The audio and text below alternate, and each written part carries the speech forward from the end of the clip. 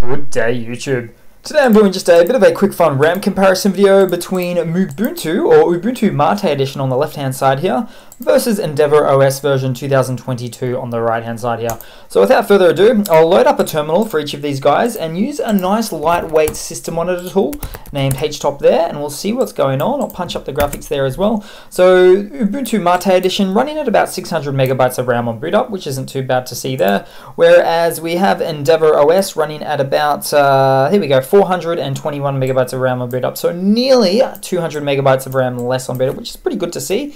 Probably the reason for that is it's using the, the fairly lightweight uh, XFCE desktop environment. It's customized in, in a bit of a lighter way, or should I say optimized there as well. Whereas Ubuntu Mate Edition, of course, is using the Mate desktop environment, perhaps a little bit heavier in this case here. So thanks for watching, guys. Please leave a comment, subscribe, hit that like button, and I do hope to see all of you guys there in the next one.